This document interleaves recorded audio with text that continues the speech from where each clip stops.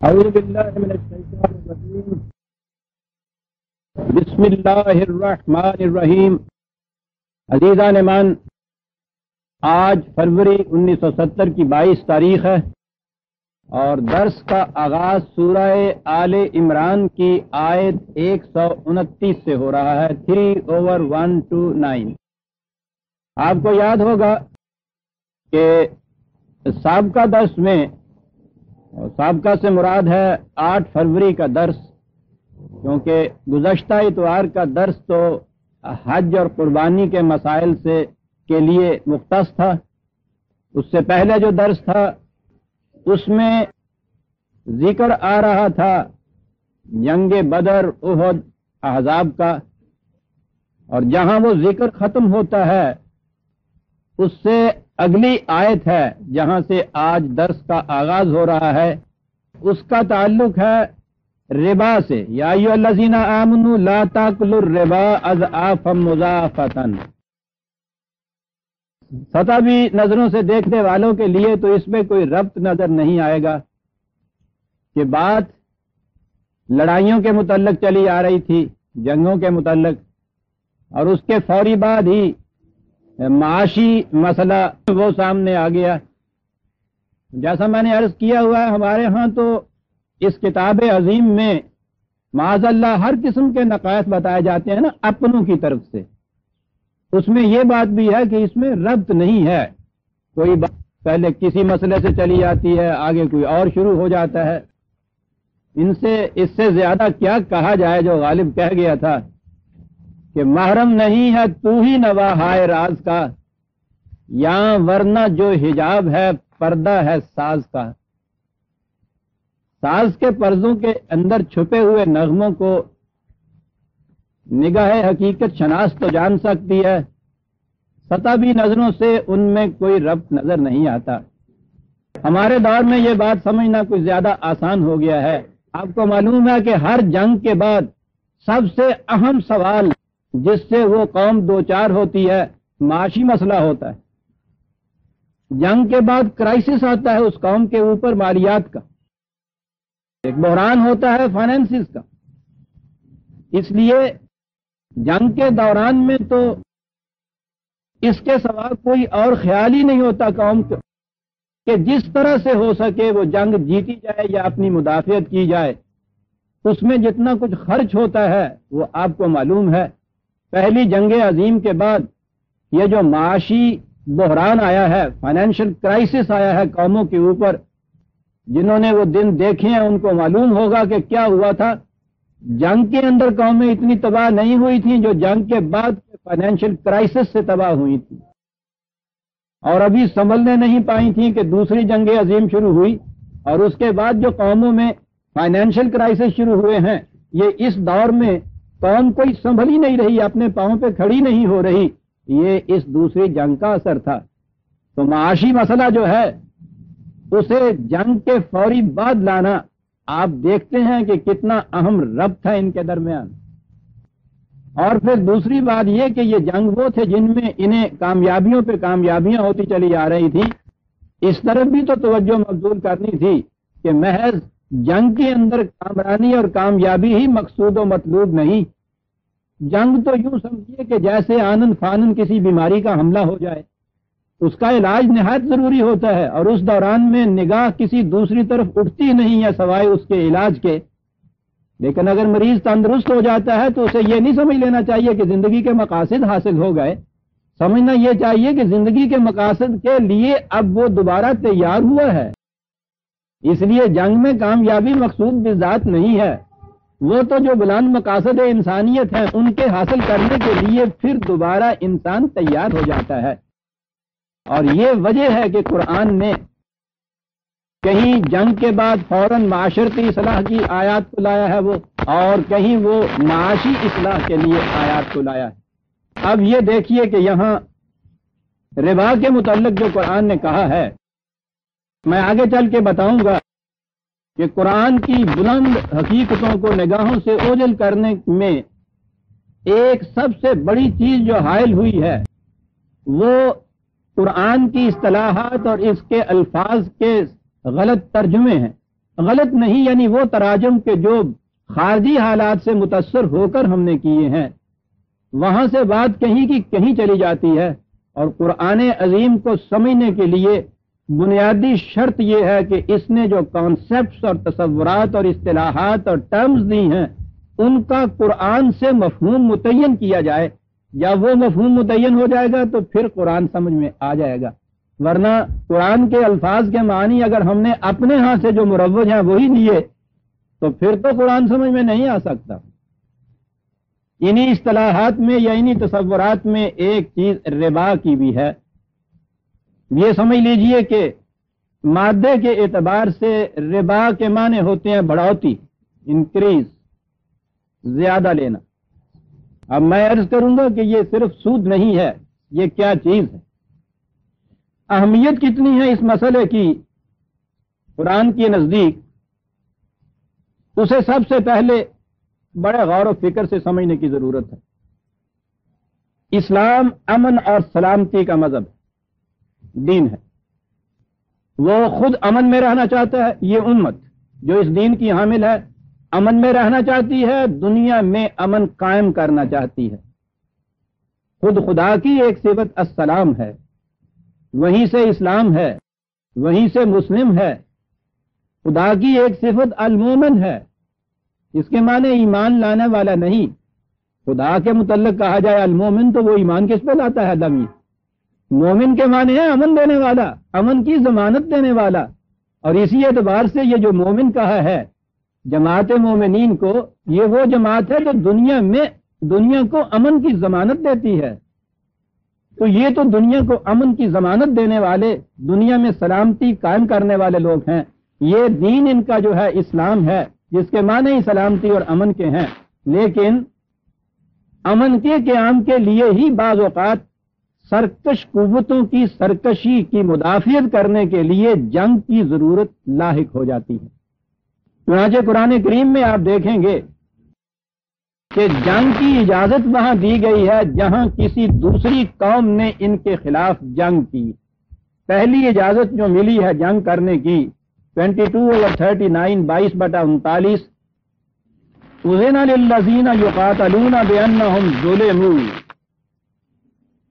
یہ جماعت مومنین کہ جن کے خلاف مخالفین نے جنگ کی ہے، جنگ کرنے کو آ گئے ہیں۔ انہیں اب اجازت دی جاتی ہے کہ یہ بھی اس جنگ کا جواب جنگ سے دیں۔ جن کے خلاف جنگ کی گئی ہے، جنگ کرنے کے لیے دوسری قومیں چڑھ دوڑی ہیں، ان کے خلاف انہیں اجازت دی جاتی ہے کہ یہ بھی مقابلے کے لیے باہر نکل آئیں۔ آپ نے دیکھا کہ جنگ کے لیے اجازت دی جاتی ہے اس وقت جب دوسری قومیں ان کے خلاف جنگ کے لیے ابھر آئیں۔ سورہ بقرہ میں ہے۔ ٹو اوور ون نائنٹی، دو بٹا ایک سو نوے۔ و قاتلو فی سبیل اللہ زینا جو قاتل جو لوگ تمہارے خلاف جنگ کرنے کے لیے ابھر آئے، ان کے خلاف تم بھی جنگ کر سکتے ہو۔ اور آگے ہے ولا تا دو۔ اس سے آگے نہیں تم بڑھ سکتے۔ یعنی ان کے جنگ کو روکنے کے لیے تم جنگ کر سکتے ہو، اس سے زیادہ آگے نہیں بڑھ سکتے۔ اسی سلسلے میں آگے یہ کہا ہے ہو فائن اللہ غفور رہی اگر وہ لوگ رک جائیں، تو پھر تم بھی رک جاؤ، آگے نہ بڑھو۔ حتیٰ کہ سورہ انفال میں ایٹ اوور سکسٹی ون آٹھ بٹا اکسٹھ وہاں یہ کہا گیا ہے کہ جنگ کرو و ان جنہ میں فج نہ لہا جس وقت وہ صلح کے لیے جھک جائیں، تم فوراً صلح کے لیے جھک جاؤ۔ یعنی جنگ کی اجازت اس وقت ہے جب دوسرے جنگ کے لیے چڑھ دوڑ اتنی جنگ کرو جتنے سے ان کی سرکشی کی قوت ٹوٹ جائے، اس کے بعد اور آگے قدم نہیں بڑھانا۔ اگر وہ صلح کے لیے درخواست کریں، جھک جائیں، تم اس سے صلح کر لو۔ جنگ کے متعلق یہ احکام ہے قرآن کریم کے۔ میں ان کی تفصیل میں اس وقت نہیں جا رہا، بات اور کہہ رہا ہوں میں۔ لیکن قرآن کریم میں ایک جنگ ایسی بھی ہے، جس کے متعلق کہا ہے کہ تم خود الٹیمیٹم دو دوسروں کو جنگ کے لیے۔ تو آپ سمجھ سکتے ہیں کہ یہ کتنی بڑی چیز ہوگی۔ یہ عام لوگ ہیں۔ پہل کی جا رہی ہے الٹیمیٹم دیا جا رہا ہے ان سے۔ یہاں آپ دیکھ رہے ہیں کہ کسی کے خلاف جنگ کرنے کا الٹیمیٹم نہیں دیا جا رہا۔ جنگ مدافعانہ ہو رہی ہے۔ پہل دوسروں کی طرف ہو رہی ہے۔ لیکن ایک جنگ ایسی ہے جس کے متعلق یہ کہا کہ الٹیمیٹم دے دو ان کو جنگ کا۔ کون لوگ ہیں یہ؟ پہلے لوگ تو وہ تھے جو کفار تھے مشرقین تھے، مخالفین تھے بہر ہر غیر مسلم تھے۔ مخالفت کے عمدے ہوئے تھے۔ یہ کون لوگ ہیں؟ یہ لوگ ہیں یا اللہ زینہ آمن ہے تعجب انگیز بات یا نہیں؟ خود مسلمانوں کے خلاف جنگ کا اعلان کیا جا رہا ہے۔ ارے مسلمانوں کے خلاف اعلان جنگ جا رہا ہے، کفار کے خلاف اعلان، جنگ نہیں، اعلان کر کے الٹیمیٹم دے کے جنگ نہیں کیا جا رہا تھا مدافع ہو رہی تھی۔ یہاں ان کے خلاف جنگ کا اعلان کیا جا رہا ہے الٹیمیٹم دیا جا رہا ہے، ان سے کہا جا رہا ہے۔ کہاں ہے یہ بات آئی؟ سارے قرآن میں ایک ہی مقام ہے، عزیزہ من جہاں یہ کہا گیا سنیے کہ کہاں گیا گا یا الزین امن اتق اللہ وزرو ما بقیہ من الربا ان کن تم مومنین اے جماعت مومنین، اگر تم مومن رہنا چاہتے ہو، تو ربا میں سے جو کچھ باقی ہے، وہ سب چھوڑ دو۔ آئندہ کے لیے تو ربا کا خاتمہ ہی کر دیا گیا۔ جو کچھ کسی کے ذمے باقی ہے ربا میں سے، وہ سب چھوڑ دو۔ ان کن تم مومنین۔ بڑا غور طلب سوال ہے عزیزان من یعنی مومن رہنے اور نہ رہنے کا سوال یہ ہوگی پہلی بات تو یہ دیکھیے آپ، اور اس کے بعد ہے فلم تفالو اگر تم نے ایسا نہ کیا فاضل حرب من اللہ و رسول ہی تو پھر تیار ہو جاؤ جنگ کے لیے خدا اور رسول کی طرف سے۔ اعلان جنگ ہے تمہارے خلاف۔ بڑی غور طلب چیز ہے عزیزان من۔ خود مسلمانوں کو مخاطب کر کے کہا گیا ہے اگر مسلمان رہنا چاہتے ہو تو تمہیں یہ کرنا ہوگا۔ حرم الربا۔ اس لیے کہ ربا کو ہم نے حرام قرار دیا ہے۔ کھانے پینے کی چیزوں کو بھی حرام قرار دیا تھا قرآن نے۔ پہلی چیز تو یہ کہ وہاں یہ نہیں ہے کہ اگر کسی نے کھانے پینے کی چیزوں میں سے مثلاً اگر خنزیر کھا لیا ہے تو کہہ دیا ہے کہ ہاں اس کے خلاف چڑھ دوڑو توپے اور بندوقیں لے کر۔ اعلان جنگ کر دو، اس کے خلاف۔ یہ نہیں کہا گیا۔ بلکہ وہاں تو یہ ہے کہ اگر استراری حالت پیدا ہو جائے، جان بچانے کی ضرورت پڑ جائے، تو یہ بھی تمہارے لیے جائز ہے۔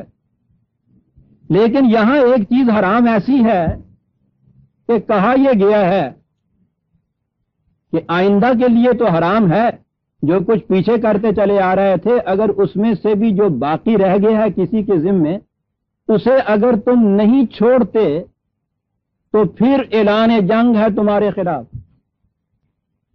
یہ ہے ربا عزیزان من۔ اس سے آپ کو یہ معلوم ہو گیا کہ یہ کوئی اتنا بڑا سنگین جرم ہے، جس جس کی مثال ہی قرآن میں دوسری نہیں ہے۔ پھر دو رادوں کہ کسی کے خلاف اس طرح اعلان جنگ کر کے جنگ کی کہیں اجازت ہی نہیں قرآن میں۔ اور پھر یہ جنگ خود مسلمانوں کے خلاف ہو رہی ہے۔ جن کے متعلق کہا یہ گیا ہے کہ من قتل مومن متعمدن فجزاؤ جہنم۔ جس نے کسی ایک مومن کو بھی ارادتن قتل کر دیا ہے اس کی جزا جہنم ہے۔ اور یہاں یا الزینہ امن کہہ کے کہا گیا ہے کہ تیار رہو پھر جنگ کے لیے۔ من اللہ من, من اللہ و رسول ہی۔ اللہ اور اس کے رسول کی طرف سے اعلان جنگ ہے تمہارے لیے۔ تیار ہو جاؤ۔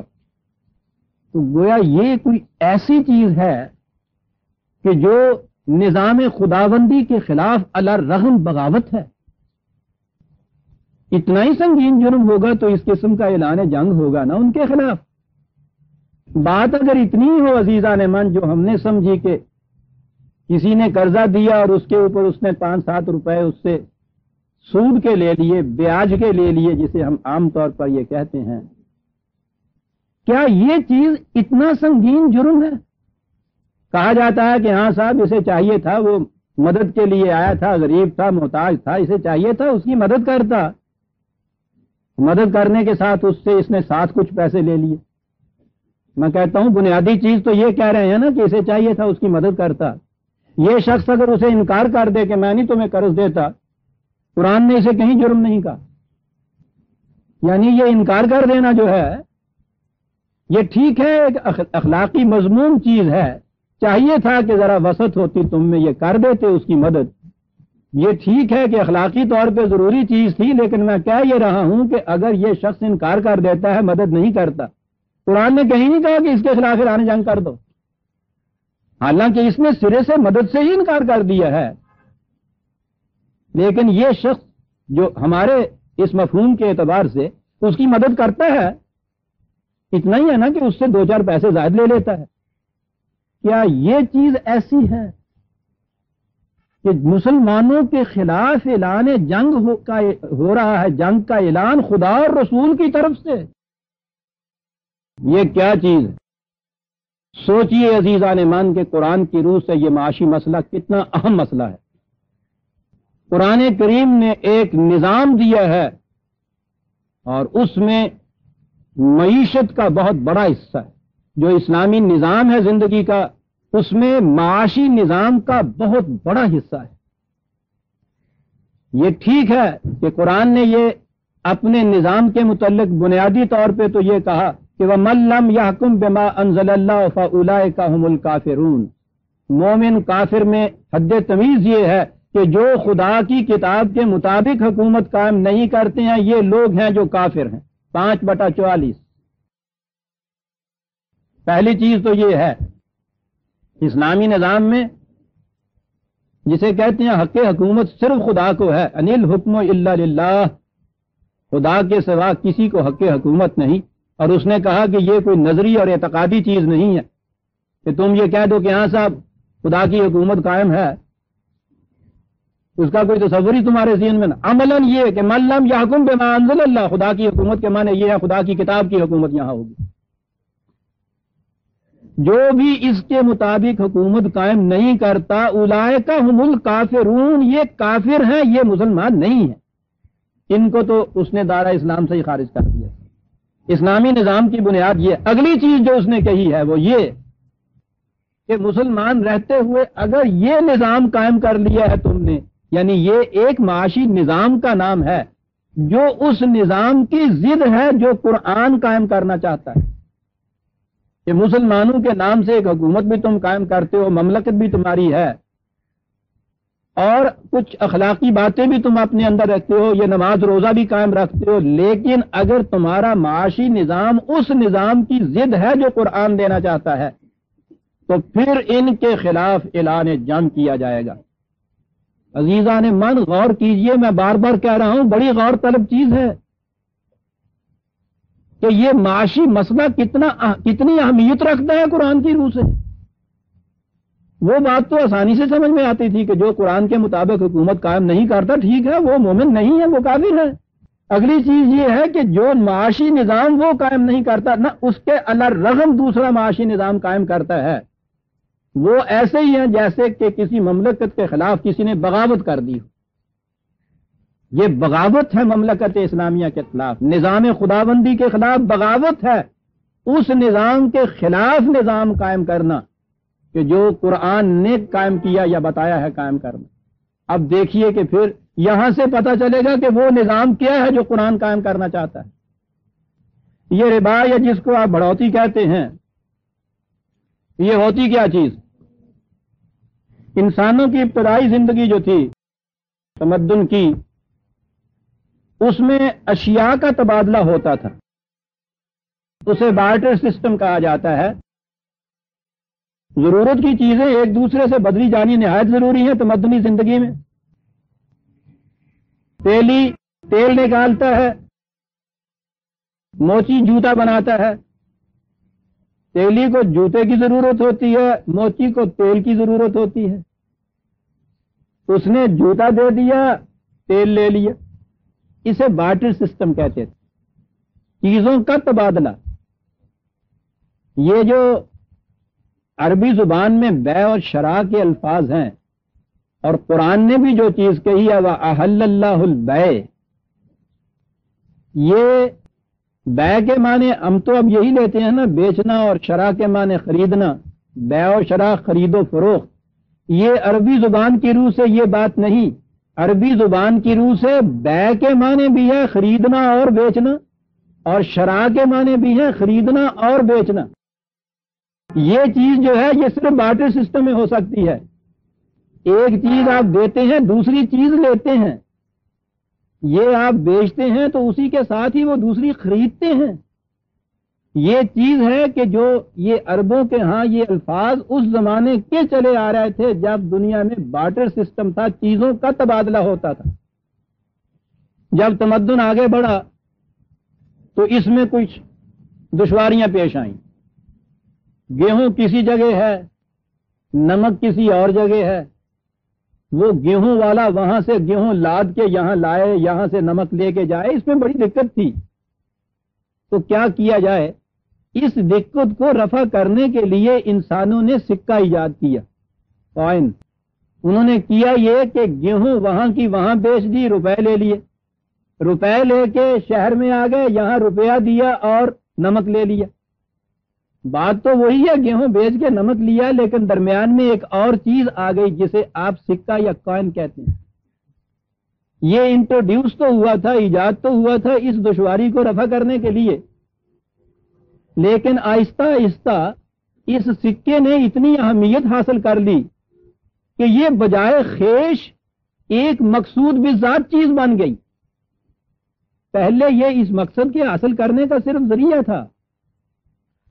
اگر کسی کے پاس اس زمانے میں روپیہ جمع ہو جاتا تھا، وہ جمع شدہ روپیہ اسے کچھ کام نہیں دیتا تھا۔ وہ تو اس کے لیے تھا کہ روپے سے اس نے جا کے گیہوں خرید لیا، ضرورت پیش آ گئی پوری کر لی۔ گیہوں بیچنے والے نے روپیہ لیا، بازار سے کپڑا خرید لیا، ضرورت پوری ہو گئی۔ اور اگر روپیہ رکھا رہے تو وہ تو کسی کام ہی نہیں آ سکتا۔ لیکن یہی روپیہ اگر کسی کو اس طرح سے دیا جائے کہ اس سے کوئی چیز نہ اس کے بدلے میں خریدی جائے روپے کا روپیہ، اور کچھ عرصے کے بعد یہ روپیہ واپس آ جائے۔ اور آپ کریں کچھ نہ اور یہ ساتھ کچھ اور روپیہ لے آئے۔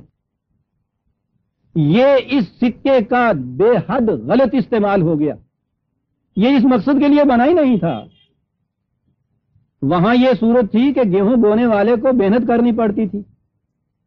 کپڑا بیچنے والے کو محنت کرنی پڑتی تھی۔ وہ اپنی محنت کا حاصل کچھ لیتے تھے۔ یہاں یہ صورت ہو گئی کہ کسی طرح سے فاضلہ روپیہ رکھ لیا۔ اور آپ محنت کچھ نہیں کی۔ اب محنت دوسرے کر رہے ہیں۔ آپ صرف یہ روپیہ جو ہے اپنے گھر میں رکھنے کی بجائے اس کے گھر میں جا کے رکھ دیتے ہیں۔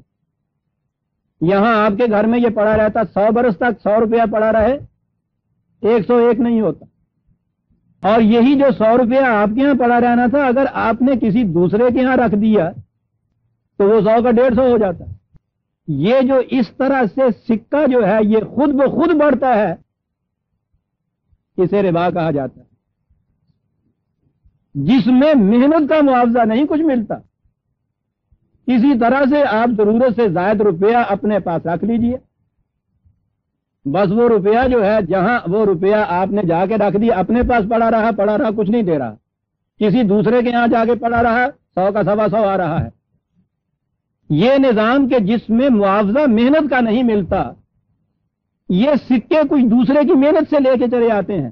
یہ آپ نے جو اس سے لے لیا ہے ڈیڑھ پچاس روپے زائد، اس نے پچاس کہاں سے لیے؟ اس نے کی محنت؟ اس محنت سے اس شخص کو معاوضہ پورا ملنا چاہیے تھا۔ اسے تو مل گیا پورا۔ اب اس معاوضے میں سے آدھا حصہ وہ آپ کو آ کے دے رہا ہے۔ یہ آپ اس سے کاہے کا لے رہے ہیں؟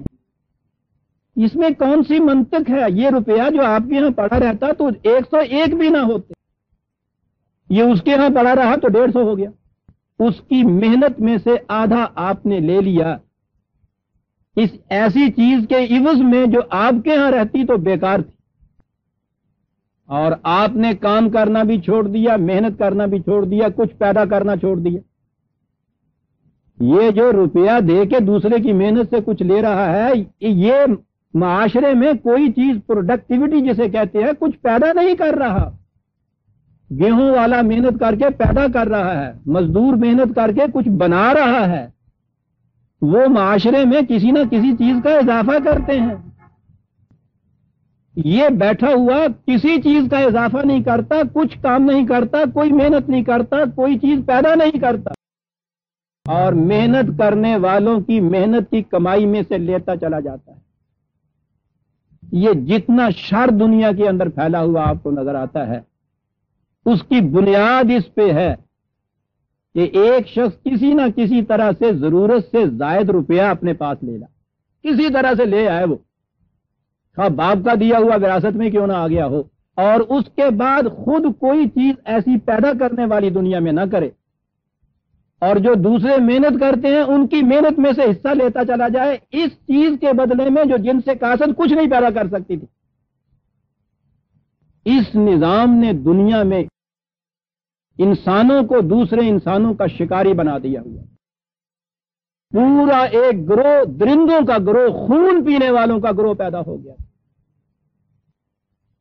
یہ تھا عزیزہ نے من، نظام معاشی جو چلا آ رہا تھا۔ اور جس نے اس دنیا کو جہنم بنا دیا تھا۔ قیامت ہے کہ انسان نوے انسان کا شکاری ہے۔ دانا ایمی کارد آ حاصل برد۔ امتے بر امتے دیگر چرد دانا ایمی کارد آ حاصل برد ایک قوم دوسری قوم کی کھیتی کو چل رہی ہے۔ بوتا بیچارہ یہ ہے، فصل وہ گھر میں لے جاتا ہے۔ یہ ہے وہ نظام جسے نظام ربا کہتے ہیں۔ یہ بات صرف قرضہ دے کے پانچ روپے لینے کی نہیں ہے، ایک مستقل نظام ہے۔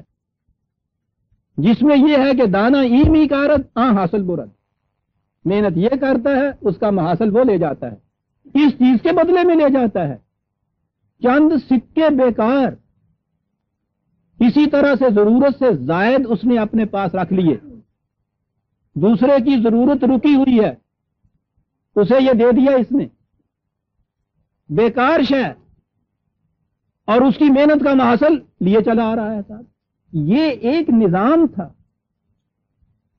یہ نظام وہ تھا کہ جس کو مٹانے کے لیے اسلام آیا اور اس نے نظام جو قائم کیا اپنا، اس کی بنیاد اس پہ سے لکھی کہ یاسا لونا کا مادہ یون فکون یہ پوچھتے یہ ہیں کہ ہم اپنے پاس کتنا ایک رکھ لیں اور کتنا ایک قرآن نے جو نظام دیا تھا اس نظام میں اس نے ایک بنیاد قائم کر دی۔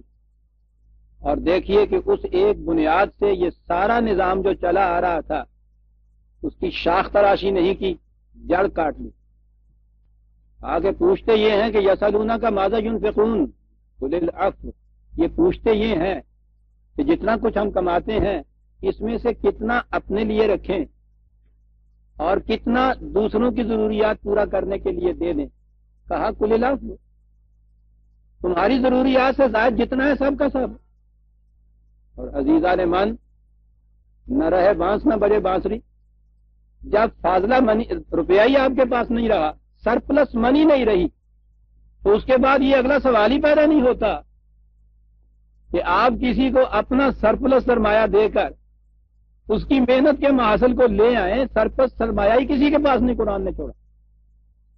یہ ہے لم اس نظام کی، بنیاد اس نظام کی جو قرآن نے قائم کیا ہے۔ سرپلس سرمایہ ہی نہیں۔ اور یہ جو چیز روا کی ہوئی، اس کے لیے پہلے سرپلس ہونا چاہیے نا آپ کے پاس۔ فاضلہ سرمایہ ہونا چاہیے نا جو دوسروں کو دیں۔ فاضلہ آپ کے پاس ہونا چاہیے۔ یہ جو فاضلہ آپ کے پاس ہوا ہے، یہ کہاں سے آیا؟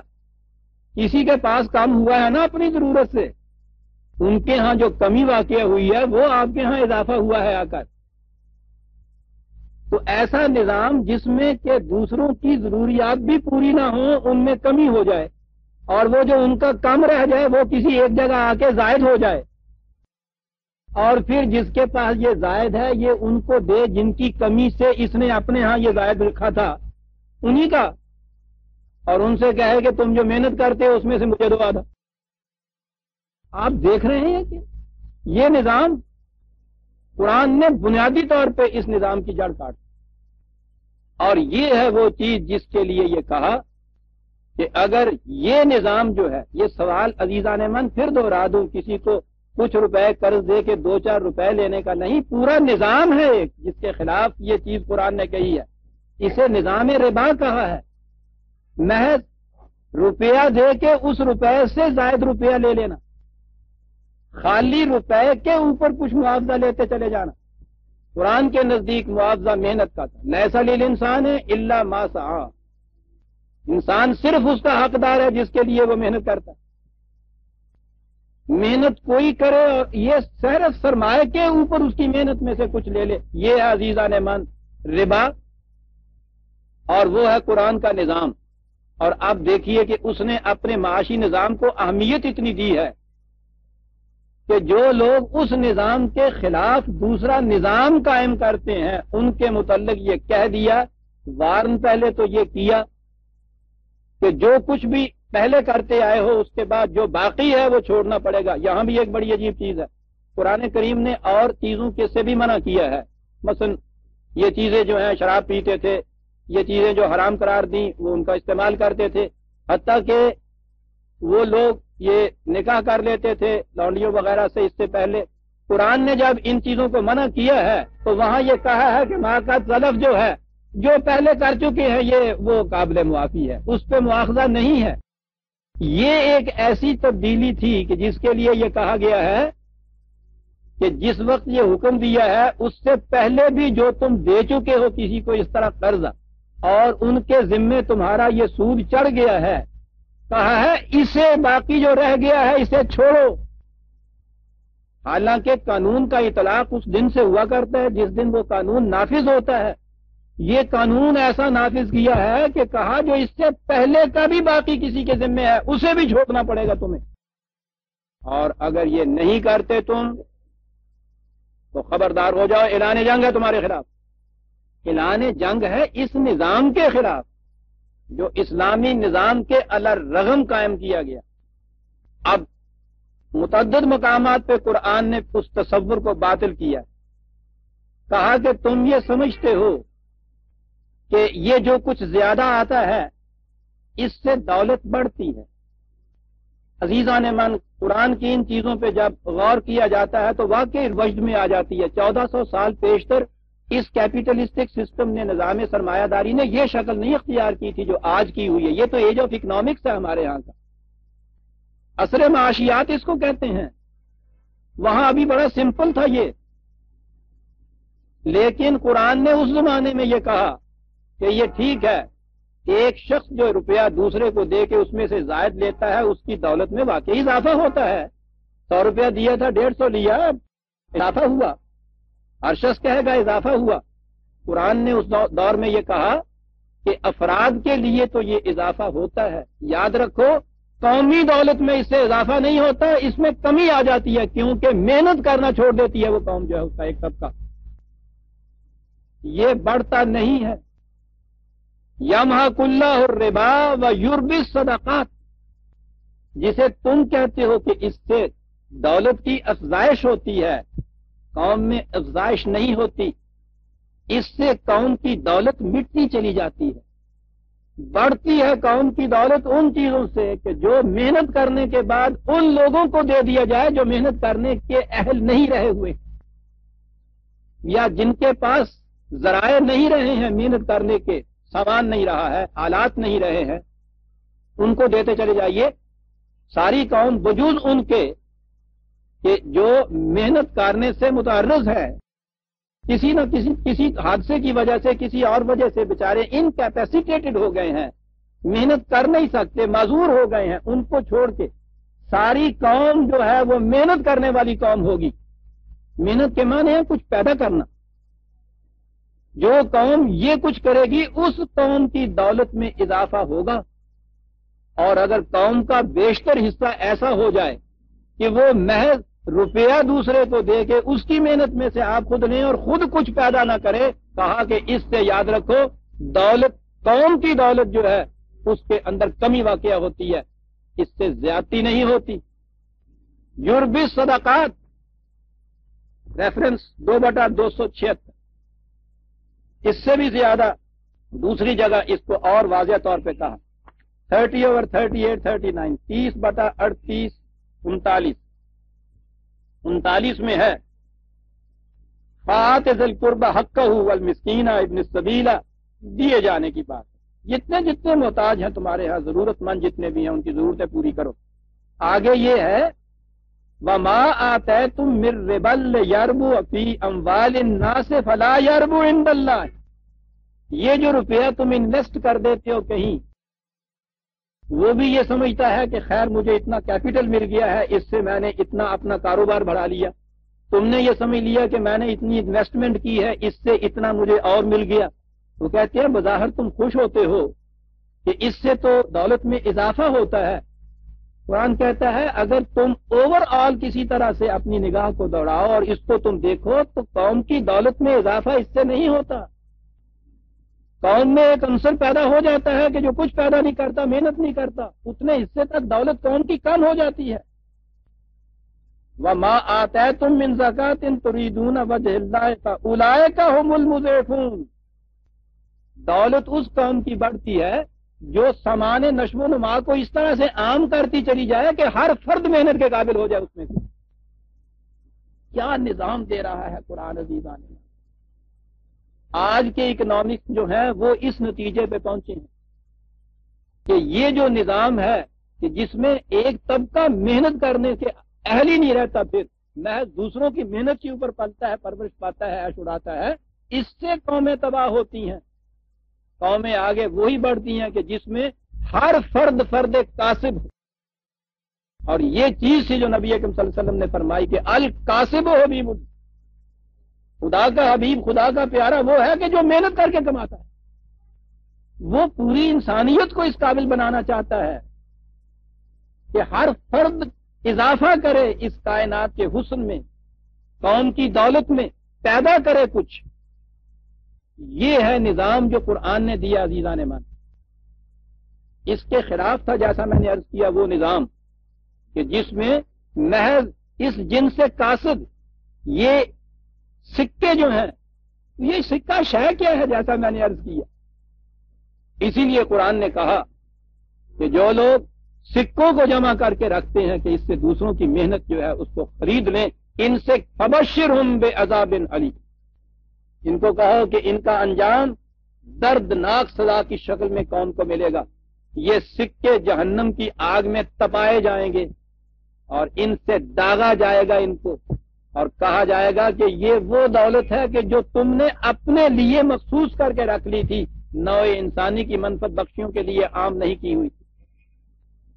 یہ ہے وہ باطل نظام جس کے خلاف قرآن نے یہ نظام اپنا دیا تھا۔ اب اس نے کہا ہے کہ اگر تم مسلمان کہلانے کے باوجود نظام معاشی اپنا یہ رکھتے ہو، تو پھر خدا اور رسول کی طرف سے لانے جائیں گا تمہارے خلاف۔ اب یہ جو آیت ہمارے سامنے آئی اس زمن میں بھی پہلے تھوڑی سی تمہید نرد کر۔ یہ تو تھا نظام جو قرآن نے دیا۔ آہستہ آہستہ آہستہ آہستہ جب ہم قرآن کی پٹری سے ہٹے اور دوسری پٹری پہ گاڑی پڑی، تو جس طرح سے باقی چیزوں کے اندر ہم نے تعویلات کی اور تفسیریں کی، اس زمن میں بھی ہم آ گئے پھر اسی کے اوپر۔ آہستہ آہستہ ہم یہاں پہنچ گئے کہ اگر ایک کاشتکار وہ آپ کے پاس آتا ہے اور وہ یہ آپ سے کہتا ہے کہ صاحب میری کچھ مدد کیجیے۔ ایک زمین کا ٹکڑا ہے، وہ میں لے لوں، اس میں میں محنت کروں گا، میرے اور میرے بیوی بچوں کا پیٹ پال جائے گا۔ تو اس میں اگر آپ اس کو دیتے ہیں ہزار روپیہ اور کہتے ہیں کہ صاحب جب واپس کرو گے تو گیارہ سو دینا۔ تو کہا یہ سود ہے، حرام ہے۔ آپ اس سے کہتے ہیں کہ نہیں بھائی میں تو نہیں حرام کھا سکتا۔ پھر کیا ہو؟ کہا کہ میں تمہیں ہزار روپے کا وہ کھیت خرید کے دے دیتا ہوں۔ کھیت میں خریدتا ہوں، تمہیں دے دیتا ہوں۔ اس نے کہا، اللہ تمہارا بھلا کرے، مجھے تو کھیت ہی لینا ہے۔ کہا، بس اس میں یہ ہے کہ اس کھیت میں جتنا گیہوں ہوگا، آدھا تمہارا، آدھا میرا۔ یعنی ہزار کے اوپر سو روپیہ جو تھا، حرام مطلق۔ اور پانچ سو روپئے کا گیہوں جو ہے، وہ شیر مادر۔ اور پھر وہ چلتا ہے سلسلہ۔ یعنی وہ تو کھیت اس کا ہے، محنت اس پہ کیے چلے جا رہا ہے۔ ہر سال یہ سلسلہ، عبدالآباد تک چلا جا رہا ہے سلسلہ۔ صاحب، یہ کیسے جائز ہے؟ کہا جی یہ ربا نہیں، مزارعت ہے۔ اچھا جی آپ کو معلوم ہے مزارعت آپ کی ہے، شیر مادر کی طرح حلال طیب ہے۔ یہ تو تھا ذمہ دار ایک دکاندار آ گیا آپ کے پاس۔ اس نے کہا کہ صاحب آپ کے پاس کچھ فاصلہ پیسے ہیں، اگر کچھ اتنے سے مل جائیں تو میں اپنا کچھ کاروبار بڑھا لوں، بچوں کا پیٹ پال لوں۔ اور اس میں سے میں آپ کو پانچ روپے سینکڑا دوں گا، لا حول والا قوت الا باللہ۔ آپ کیا کہہ رہے ہیں کہ مجھے حرام کھلا رہے ہیں آپ؟ سود بالکل حرام ہے۔ بنیا لیتا تھا سود۔ یا ہمارے یہاں کہتے ہیں، وہ پٹھان لیتے ہیں، وہ جو آیا کرتے ہیں صاحب۔ ٹھیک ہے جی حرام ہے۔ یہودی لیتے تھے سود۔ تم نے کیا سمجھا مجھ کو؟ جی معاف کیجیے گا۔ یہ لو۔ ہزار روپیہ لو، جاؤ، تجارت کرو۔ جتنا نفع ہے، اس میں سے آدھا تمہارا اور آدھا میرا۔ یہ سودی کاروبار نہیں۔ مولانا صاحب سے پوچھا کہ صاحب، یہ کیا ہے؟ کہنے لگے، مزوار بات ہے۔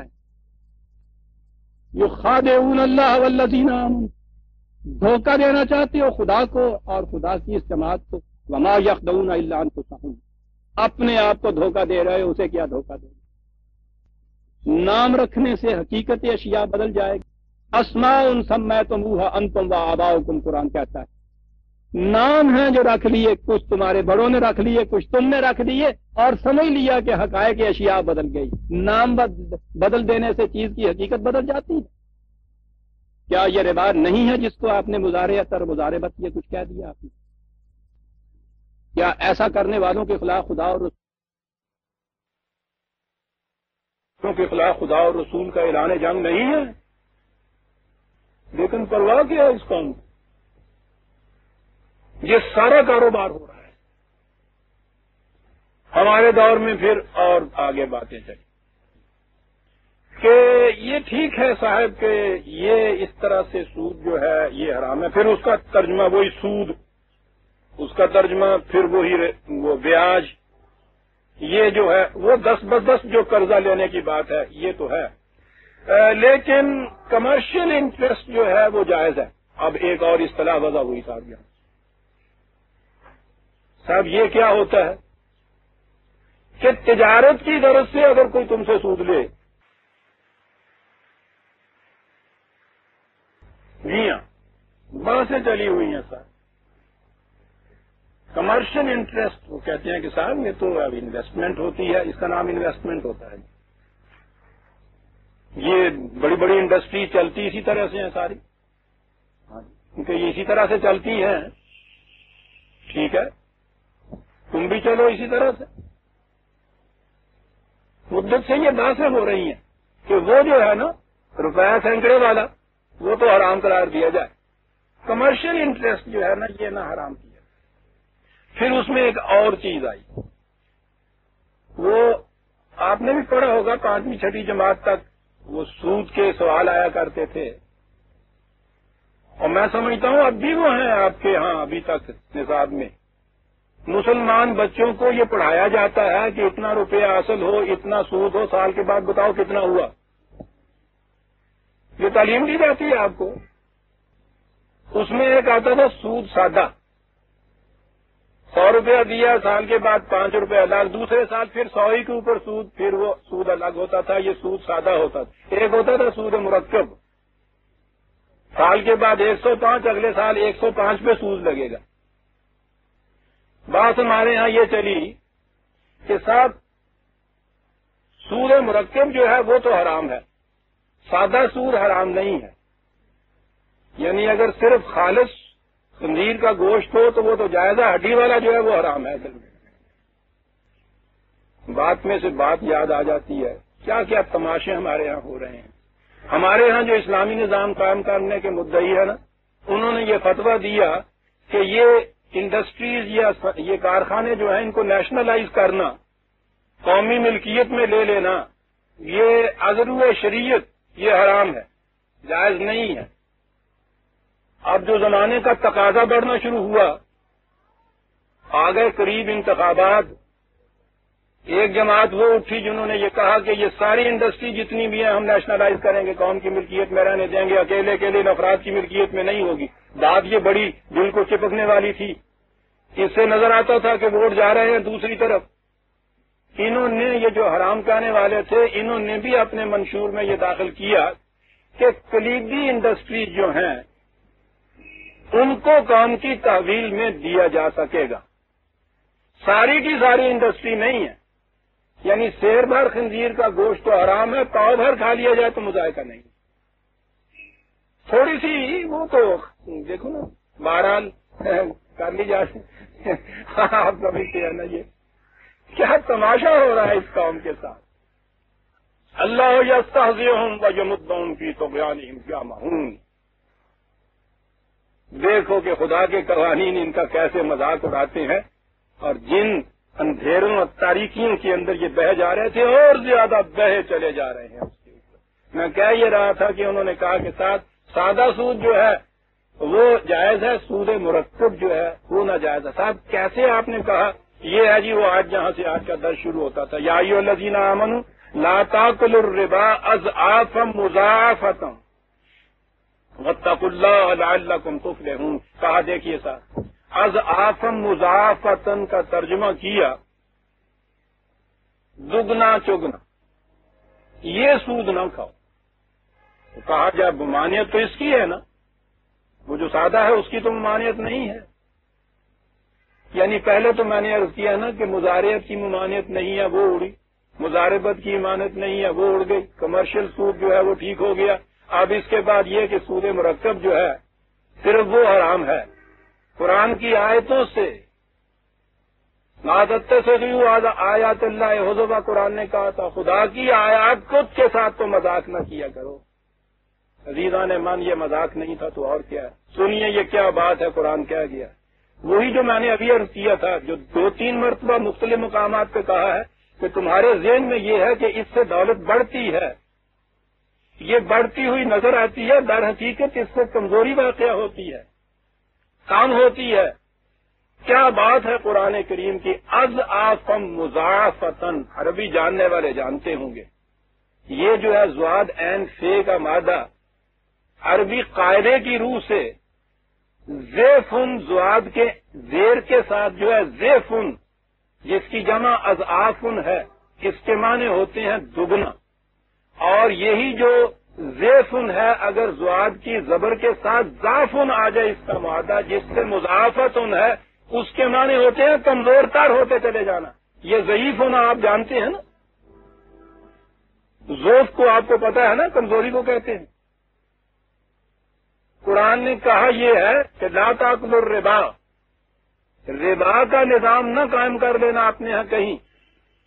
اس کی صورت یہ ہوتی ہے کہ از آفن نظر ایسا آتا ہے کہ جیسے دولت دگنی چوگنی ہو رہی ہے، لیکن در حقیقت مضافتن دولت میں کمزوری واقع ہوتی چلی جاتی ہے اس سے۔ نہیں تو کتاب کیا ہے عزیزہ نے ابھی میں نے وہ تیس بتا اڑتیس میں کہا تھا نا کہ یہ سمجھتے یہ ہے کہ اس سے دولت بڑھتی ہے، لیکن در حقیقت دولت بڑھتی ہے۔ ابھی ابھی میں نے کہا تھا نا کہ قرآن نے یہ کہا ہے تو صدقات یہ چیزیں ہیں جو بڑھتی ہیں، وہی یہاں کہا گیا ہے۔ تو بظاہر تمہیں یہ نظر آتا ہے کہ دگنی چوگنی ہو رہی ہے، لیکن در حقیقت مضافن اس میں تو زوف واقعہ ہوتا ہے قوم کے اندر۔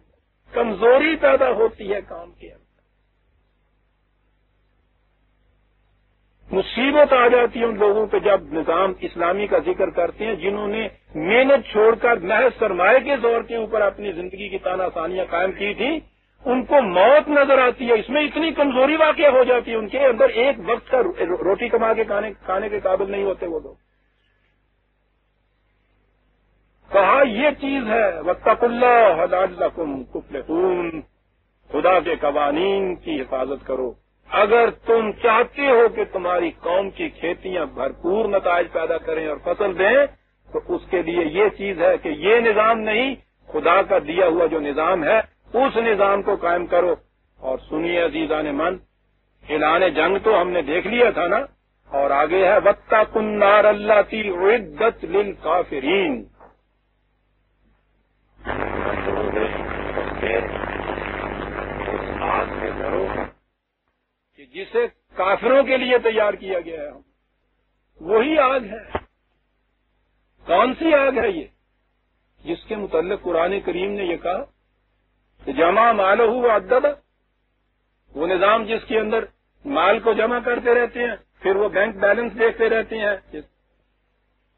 کہا ان کی کیفیت یہ ہوگی کہ نار اللہ مقدت اللہ کی تفیدا ایک آگ بھڑک اٹھے گی معاشرے میں جو دلوں کو لپیٹ لے گی، وہ آگ جو دلوں کو لپیٹ لیتی ہے۔ وہ جو میں نے ابھی سورہ توبہ کی آیت نائن اوور تھرٹی فائیو کہا تھا کہ یہ کہا کہ یہ سکے تپائے جائیں گے اس آگ کے اندر، ان سے تمہیں داغا جائے گا جب اس معاشرے کے اندر ایک اسٹریچنگ پوائنٹ ہوتا ہے جہاں جا کے کوئی چیز جو آپ کھینچتے چلے جاتے ہیں، اس سے زیادہ آگے نہیں کھینچ سکتی، پھر ٹوٹ جاتی ہے وہ چیز۔ عزیزان مان جن کی ضروریات رکی ہوئی ہوتی ہیں، ایک حد تک تو ان کے اندر برداشت ہوتی ہے۔ بیمز اینڈ جہاں آ جاتا ہے، وہاں پھر یہ چیز ٹوٹتی ہے۔ اس کا نام فساد ہوتا ہے، معاشرے میں برپا ہوتا ہے۔ جب فساد برپا ہوتا ہے، تو سب سے پہلے یہی جو سکے والے ہیں، ان کے اوپر تباہی آتی ہے۔ دنیا یہ ہے وہ جہنم کی آگ جس سے قرآن کرا رہا ہے۔ فاترین ڈرو اس آگ سے کہ جو کفر کی بھڑکائی ہوئی ہوتی ہے۔ یعنی صحیح نظام زندگی سے انکار اور سرکشی برتنے والے، اس کے الر رغم دوسرا نظام لانے والے جو ہیں، ان کی بھڑکائی ہوئی جو آگ ہوتی ہے، اس آگ سے خوف کھاؤ، وہ معاشرے میں کچھ بھی باقی نہیں چھوڑا کرتے اس سے بچنے کے لیے وہ عطی اللہ رسول اللہ ترحمون۔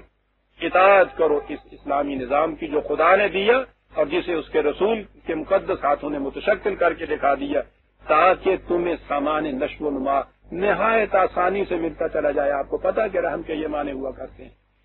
اس سے ہوگا کیا؟ ہاں ہاں ہاں کیا آیت آئی ہے سامنے ویزا نے؟ کیا نتیجہ بتایا ہے آپ خدا نے؟ اس نظام کو مٹا کے اس کی جگہ وہ نظام قائم کرنا کہ جس میں ہر محنت کرنے والے کی محنت، اس کی ضروریات کے لیے تمام انسانوں کی ضروریات کے لیے کھلی رہے۔ سارے ہوئے لا مغفرت ان میں ربے تم سارے ہو چھوڑو اسے۔ دوڑ کے جاؤ تم۔ بھاگ کے جاؤ تم۔ خدا کی حفاظت کی کہ سائے تلے آ جاؤ پہلے تو۔ یہ جو غلط نظام زندگی کے تباہ کن نتائج سے، پہلے تو اس سے بچو۔ مغفرتن۔ لیکن صرف حفاظت اور بچ جانا ہی تو کوئی کامیابی نہیں ہے۔ اور سنیے عزیزان من میں رب و جنت ان ارض و سماوات والارض۔ آؤ بھاگ کر اس جنت کی طرف کے جو زمین و آسمان کی وسطوں پہ پھیلی ہوئی ہے۔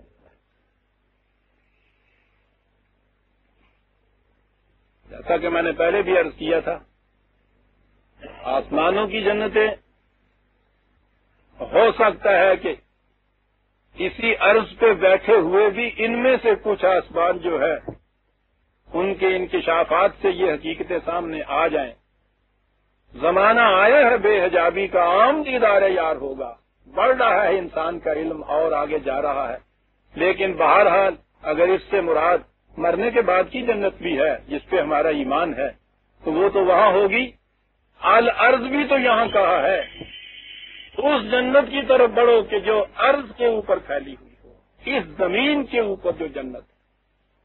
جس کے متعلق قرآن یہ کہا ہے کہ واشرا کا دل ارد و بے نور رب یہ ارض تمہارے نشو و نما دینے والے کے نور سے جگمگا اٹھے گی۔ یہ کب ہوگا؟ کہا یا یوم یقوم الناس رب العالمین۔ جس دن پوری انسانیت، ربوبیت عالمین کے لیے اٹھ کھڑی ہوگی، کہا۔ آؤ، دوڑ کر سارے ہوں۔ قدم قدم آنے کے لیے نہیں کہا۔ انقلاب بڑی تیزی سے لایا جاتا ہے۔ یہاں سارے ہوں کہا ہے قرآن نے۔ اس نظام کو مٹا کر نہایت تیزی سے آؤ، اس نظام کی طرف۔ کہ غلط نظام کے تباہ کن نتائج سے تمہاری حفاظت کا سامان بہم پہنچائے گا اور ایک جنت یہاں قائم کر دے گا۔ پھیلی ہوئی ہوگی اس ارض کے اوپر۔ وہاں کہا تھا، جہنم عدت للکافرین۔ یہاں کہا یہ جنت عدت للمتقین۔ جو متقیوں نے یہ تیار کی گئی ہے صاحب۔ کون ہے یہ متقی آپ کے ذہنوں میں تو جب آج کل ہم کہتے ہیں بڑا متقی پرہیزگار ہے، تو وہ تو آپ کو پتا نا کس قسم کا نقشہ آتا ہے ذہن میں ہمارے۔ یعنی اگلا لفظ جو ہے پرہیزگار میں اسی سے پتا چل جاتا ہے یہ۔ یہ تصور جو ہے نا، ہر چیز سے پرہیز کرتے چلے جانا، بچتے چلے جانا، ساری دنیا سے پرہیز کرتے چلے جانا۔ یہ تصور تھا نا آپ کے یہاں رحبانیت کا دیا ہوا۔ ہر چیز سے اجتناب کرنا، دنیا کو قابل نفرت سمجھنا۔ ہمارے ہاں یہ تصور آ گیا بعد میں۔ دیکھیے قرآن کہاں کہتا ہے یہ تقبہ کیا ہے؟ متقین اللہ زینا یعنی وہ لوگ۔ اب یہاں تو بات صاف ہو جائے گی خود۔ کہ یہ کون لوگ ہیں؟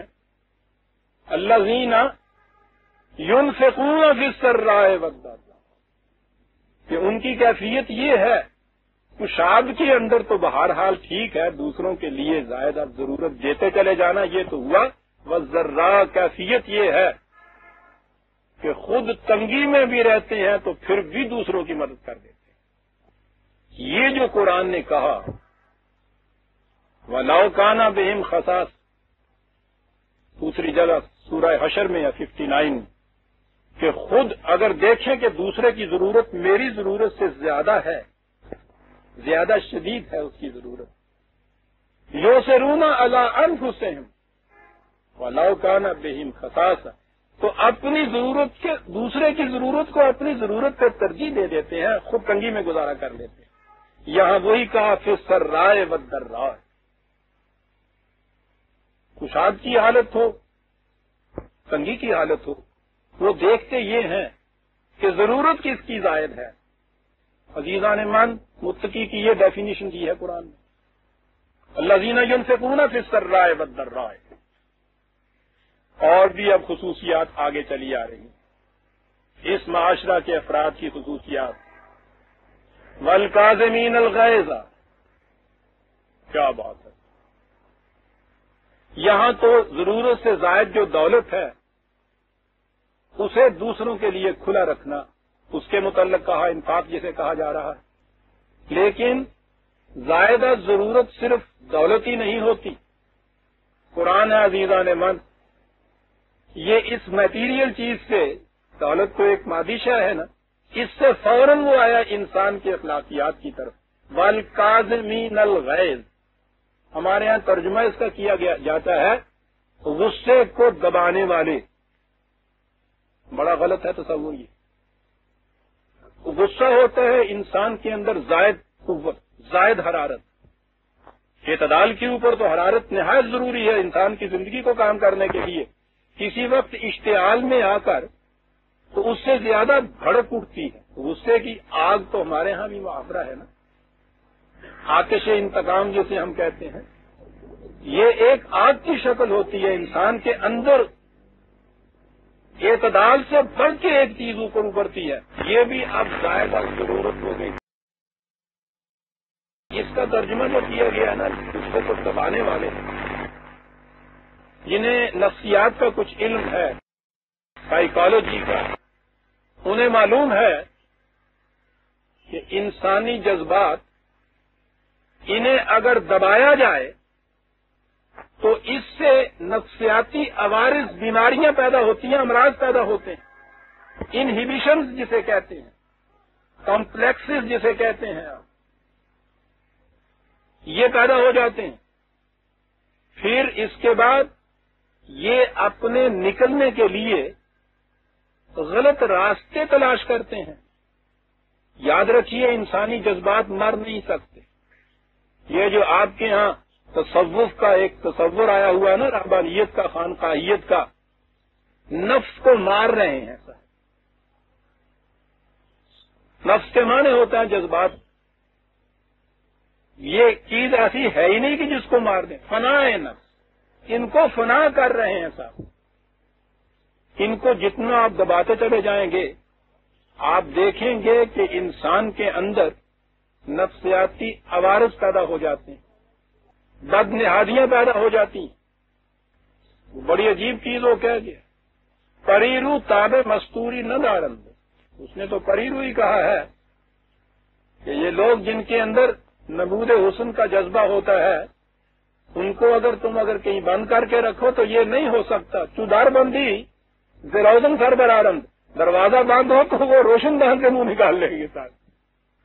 یہ روشن دان سے منہ نکالنے کے معنی ہوتے ہیں غیر فطری طریقے اختیار کیے جاتے ہیں۔ یہ تو رک سکتا ہی نہیں ہے سر۔ پانی کے چشمے کو اگر صحیح بہاؤ کا جو منہ رخ اس کا بند کر دیجیے، تو پتہ نہیں کہاں کہاں کی درجوں سے پھر منہ نکالے گا۔ قرآن جو قلوب کی امراض کا علاج بتانے کے لیے آیا تھا، وہ کیا ایسا طریقہ بتائے گا اس قسم کے بڑے ہوئے جذبے کا، بڑے ہوئے غصے کا، بڑی ہوئی حرارت کا کہ اس کو دبا دو؟ تاکہ یہ اور راہیں تلاش کر کے نکالے۔ بڑی عجیب چیز ہے عزیز آنے مان پہلے بھی غالباً آ چکا ہے، پھر دورا دوں کہ لفظ تو پہلی دفعہ یہاں یہ آیا ہے۔ اس کے معنی غصے کو دبانے والا نہیں۔ یہ ریپریشن نہیں ہے سپریشن نہیں۔ آج کی نفسیات میں ایک ان کے ہاں علاج کا طریقہ ہے جسے سبلیمیشن کہتے ہیں۔ وہ کرتے یہ ہیں کہ کوئی قوت جو اعتدال سے زیادہ بڑھ جائے کسی وقت، اس قوت کا رخ دوسری طرف موڑ دیتے ہیں۔ اس کے استعمال کے لیے ایک تعمیری سا گوشہ اس کے سامنے کر دیتے ہیں تاکہ وہ وہاں قوت جو ہے وہ نکلے اور تعمیری نتائج پیدا کرے۔ بڑی ہوئی قوت جو ہے وہ نکل بھی جائے اور نتائج تعمیری پیدا کرے۔ مثلا اگر کسی شخص کے اندر یہ غصہ زیادہ ہوتا ہے، کچھ شدت کا غلبہ زیادہ ہوتا ہے، اسے آرمی میں بھیج دیتے ہیں۔ یہ جو آپ کے یہاں روز چاقو اور گھوسے ہیں نا، وہ اس لیے ہیں کہ یہ زائد اد ضرورت حرارت جو پیدا ہو گئی ہوئی ہے، اس کے نکلنے کے لیے صحیح راہیں نہیں رہی معاشرے کے اندر۔ وہ جو دوسرے کے اوپر غلبہ پانا ہوتا ہے نا، وہ میچ جیتنے میں غلبہ پاتا ہے۔ اور یہی غلبہ پانے والی قوم اعتدال کے اوپر ہوتی ہے، اس کے بعد ان کی کیفیت۔ یہاں جو میدان میں غلبے پاتے ہیں، انہی کو قرآن پھر میدان جنگ میں بھیج دیتا ہے، وہ پھر دشمن کے اوپر غلبہ پاتے ہیں۔ اس کو کہتے ہیں نفسیاتی طور پر سبلیمیشن۔ یعنی وہ جو زائدہ ضرورت، قوت ہے، اس ضرورت کو بلند مقصد کے لیے اس کا رخ موڑ دینا کسی بلند مقصد کے لیے۔ اربوں کے ہاں ایک طریقہ تھا۔ پانی کی تو ان کے ہاں بڑی کمی ہوتی تھی۔ کہیں کہیں ان کے ہاں پانی نیچے ہوتا تھا تو وہ کھودتے تھے کنواں اس میں سے پانی نکل آتا تھا۔ لیکن کیفیت یہ ہو جاتی تھی کہ گرمی کا مسل موسم آ گیا ہے، وہ پانی کی سطح بڑی نیچے چلی جاتی ہے، تو دشواری آ جاتی تھی۔ تو وہ پاس پاس پانچ سات کنویں کھود لیتے تھے۔ اب اس میں صورت یہ ہوتی تھی کہ ایک کنویں کے اندر پانی زیادہ ہے، دوسرے کنویں کے اندر پانی کم ہے، تو وہ نیچے سے سرنگ لگا کے ان پانچ چار کنویں کے پانیوں کو ملا دیتے تھے ایک دوسرے کے ساتھ۔ سب ٹرینین جسے کہتے ہیں نا چینل اندر اندر سرنگیں لگا کے تو ملا دیتے تھے ان اس کا نتیجہ یہ ہوتا تھا کہ اگر کسی وقت ایک کنویں کی پانی کی سطح نیچے گئی ہے اور دوسرے میں پانی زیادہ ہے، تو پانی تو اپنی سطح ہموار رکھتا ہے۔ وہ زائد جو پانی ہوتا تھا سطح کے اوپر والا، وہ اس چینل کے ذریعے سے اس کنویں میں آ جاتا تھا۔ اور یوں زائد از ضرورت یا سطح سے بالا تر کا پانی جو ہے، اس طرف آ جاتا تھا رخ موڑ کر، جہاں پانی کم ہے۔ یہ جو طریقہ تھا ان کے ہاں زائد از ضرورت پانی کو منتقل کرنے کا، وہاں جہاں اس کی ضرورت زیادہ ہے اور سطح کم ہے، اسے قزامت کہتے تھے وہ لوگ۔ قرآن نے کہا ول کا زمین الغیز جن کے اندر کوئی صلاحیت، کوئی قوت، کوئی حرارت ضرورت سے زائد ہو جاتی ہے، وہ اس کو اس طرف موڑ دیتے ہیں جہاں وہ چیز تعمیری مصرف میں کام میں آ جائے سبلائمیشن کر دیتے ہیں۔ دولت زائدہ ضرورت، وہ پوری کی پوری اس نے دے دی منفت بخشیوں کے لیے انسانیت کو، یہ بھی قدامت ہے۔ اور انسان کے اندر کے یہ قوتیں جو ہیں، اگر یہ بھی کسی وقت کوئی قوت زائد ہو جاتی ہے، تو معاشرے کے اندر اس قسم کا انتظام ہونا چاہیے کہ یہ جو قوتیں زائد کسی کے اندر ہیں، ان کو تعمیری مقصد کے لیے استعمال کرنے کے انتظام ہونے چاہیے معاشرے میں۔ آپ دیکھیں گے افراد کے اندر اختلاف ہوتا ہے صلاحیتوں کسی میں ایک صلاحیت بڑی ہوئی ہوتی ہے، کسی میں کوئی دوسری صلاحیت بڑی ہوئی ہوتی ہے۔ یہ جو بڑی ہوئی صلاحیتیں ہوتی ہیں، ان کے استعمال کے لیے معاشرہ کے اندر صحیح نظام ہونا چاہیے۔ اب دونوں قسم کی بڑی ہوئی چیزیں قرآن نے بیان کر دی دولت بڑی ہوئی ہے، زائدہ ضرورت تو کل الاف جتنی تمہیں ضرورت ہے، اس سے زائد دوسروں کی طرف منتقل کر دو۔ تمہارے اندر کی کوئی قوتیں اس قسم کی ہیں کہ زائدہ ضرورت ہے، ان کے لیے نظام ایسا قائم کرنے والے ہوتے ہیں۔ ان کو متقی کہتے ہیں، عزیزہ مان یہ نظام ہونا چاہیے اس کے اندر۔ ول آفین الناس۔ آفین کا ترجمہ بھی معاف کر دینے والے کہا گیا۔ کیا جاتا ہے۔ افد کے معنی ابھی ہم نے دیکھا، وہی لفظ ہے جہاں سے یہ آفین اس کے معنی ہوتے ہیں کسی سے آگے بڑھ جانا۔ اس کو، اس سے اور آگے چلے جانا۔ ہمارے ہاں تو یہ چیز ہوگی نا کہ صاحب، میں اس کی کیوں مدد کروں؟ اس نے میری مدد کی تھی۔ میں اس کے کیوں کام آؤں؟ اس نے تو میرے ساتھ یہ سلوک کیا تھا۔ یہاں عدلے کا بدلہ جو ہے، وہ ہوتا ہے۔ اور اگر آپ نے سلوک کیا ہے، تو پھر وہی قرآن کی اس آیت کا غلط مفہوم۔ الجزا الحسان احسان آپ نے احسان کیا، اب اس کے بعد صاحب ساری عمر آپ توقع کر رہے ہیں کہ وہ احسان کا بدلہ آپ کو چکائے۔ اور ساری عمر کے لیے آپ کا بے دام غلام بن جائے۔ ہر معاملے کے اندر آپ جاتے ہیں، اس کو دباتے ہیں، وہ کہتا ہے کہ نہیں صاحب، دیکھیے نا، میں تو ووٹ اس کو دوں گا کہ جو ذرا زیادہ اہل ہے۔ ہاں بھائی، ٹھیک ہے۔ آج تو پاٹے خان بن گیا ہے میں۔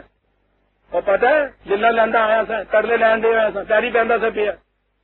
تو اس دن اسی تیری مدد کی تھی کہ آج تکھیاں متے پہ رکھ رہی ہیں توتا چشم، حرام خور، احسان ناشناس۔ ووٹ میں انہوں دیا گا جی جرا میرا یعنی وہ جو اس وقت مصیبت پڑی تھی اس نے کبھی مدد کر دی تھی، اب ہر بات تمہاری مرضی کے تابع کرتا چلا جائے، پھر تو احسان شناس ہے۔ اور اگر کہیں یہ چیز کہے تو پھر ہزار ہزار گالیاں ہو جاتی اب وہ بیچارہ کیا کرے اس کے لیے؟ کہا احسان کا بدلہ احسان ہے۔ تو اب وہ انتظار میں ہوگا کہ اللہ کرے، تو اس پہ بھی مصیبت پڑے۔ نہ جی اور تو موقع نہیں نہ آ سکتا۔ کسی طرح سے یہ بول میرے سر سے اترے اترنے کا طریقہ یہی ہے کہ تجھ پہ بھی وہ مصیبت پڑے، تو بھی اس طرح نندا کرتا آئے کہ میں تیری ہو تو مدد کرا کہ کہا الحمد للہ حال جزار لسان اس کام کو کیا ہو گیا؟ ہمارے ہاں جو نیک سلوک بھی کیے جاتے ہیں نا، ان کی یہ کیفیت ہے کہ یہ دیکھ کے کہ اس نے کیا کہا۔ قرآن کہتا ہے ول آفین الناس۔ وہ یہ کچھ کرتے ہوئے یہ نہیں دیکھتے کہ انہوں نے میرے ساتھ کیا کیا تھا، وہ ان چیزوں سے آگے بڑھ جاتے ہیں۔ فار اہڈ آف واہ واہ۔ اس کا خیال ہی نہیں ہوتا۔ اس لیے کہ اس نے تو ایک فریضہ انسانیت ہے اپنے اوپر عائد کیا ہوا۔ کہ جس کنویں میں پانی کم ہے، میں نے زائد پانی اس کی طرف پھیر دینا۔ سیدھی سی بات ہے۔ مجھے تو انسانیت کی نشو و نما کا سامان باہم پہنچانا ہے۔ مجھے تو ایتائے زکوٰۃ کا فریضہ عدایت کرنا ہے۔ مسلمان ہونے کی جہت سے جس کا میں نے اقرار کیا ہوا اپنے خدا سے۔ کہ جس کی نشو و نما کی ضرورت ہوگی، میرے پاس جو اپنی نشو و نما سے زائد ہوگا، وہ دوں گا۔ اگر اس کی ضرورت زائدہ تو اپنی ضرورت کاٹ کے بھی دوں گا۔ تم نے تو یہ کرنا ہے۔ اس لیے کھڑے ہو کے یہ سوچنا کہ اس نے میرے ساتھ کیا کیا تھا۔ یہ بات نہیں، متقی کا یہ فریضہ نہیں ہے۔ وہ کاظمین الخید ہے۔ جتنی زائد ضرورت سے قوت اپنی ہے، دولت اپنی ہے، دوسرے کو دینا۔ دینے کے لیے کھڑے ہو کے یہ نہیں سوچنا کہ اس نے کیا کیا تھا۔ ول آفین لوگوں سے ان جیسا برتاؤ نہیں کرتا۔ آگے بڑھ جاتا ہے۔ دیکھو کسی سے آگے بڑھ جانے کا کیا خوبصورت تصور ہے۔ دولت زائدہ ضرورت جو ہے، وہ دے دی جہاں جانی چاہیے۔ لیول قائم کر دی۔ اپنی صلاحیتیں جتنی زائد ہیں، وہ منفت عامہ کے لیے عام کر دی لیول پورا کر دیا۔ یہ نہیں کیا ہے کہ کس نے کیا سلوک میرے ساتھ کیا تھا۔ اس نے تو یہ کچھ کرنا ہے۔ یہ کرتے چلے جائیے۔ کس سے کیا ہوا؟ سب سے پہلے تو یہ کہ تمہارا اپنا توازن قائم ہو گیا۔ یہ جو ضرورت سے زیادہ بڑی ہوئی دولت، ضرورت سے زیادہ بڑی ہوئی اپنے اندر تیزی کی اشتعال انگیز قوتیں توازن بگڑ جاتا ہے اس سے۔ تمہاری ذات کا توازن قائم ہوا۔ اور جہاں جہاں کمی تھی معاشرے میں، وہاں جب یہ پہنچی تو معاشرے کا توازن قائم ہو گیا۔ قرآن کہتا ہے، واللہ یحب المحسنین خدا انہیں پسند کرتا ہے جو توازن برقرار رکھتے ہیں۔ احسان کے معنی ہوتا ہے عزیزہ نے من حسن پیدا کر دینا۔ اور حسن نام ہی صحیح توازن کا ہے، صحیح پرپورشن کا نام ہے۔ یہ لوگ حسین کہتے ہی اس کو تھے کہ جس کے صحیح خد و خال میں توازن صحیح ہوتا تھا۔ توازن کا نام ہی حسن ہوتا ہے۔ جو لوگ اس طرح سے توازن برقرار رکھتے ہیں، اپنی ذات کا، معاشرے کا، وہی ہیں جو حسن کائنات میں اضافہ کرتے چلے جاتے ہیں۔ کہا کہ وہ مال و دولت کی دنیا ہو یا صلاحیتوں کی دنیا ہو، سارا راز اس کے اندر ہے کہ ایک صحیح توازن ہو قائم۔ اور یہ توازن جو ہے، اپنی پرفیکشن میں پہنچا ہوا ہوتا ہے۔ خدا کی ذات کے اندر، اسی لیے خدا کی صفات کو الاسماء الحسنہ کہا گیا ہے۔ وہ صفات جو اپنے توازن کے اعتبار سے بھی نہایت پرفیکشن کو پہنچی گئی ہے مومن کے صحیح عمل کو بھی حسن عمل کہا گیا ہے۔ اسے حسنات سے تعبیر کیا گیا ہے۔ لفظی حسن ہے قرآن نے جو استعمال کیا ہے۔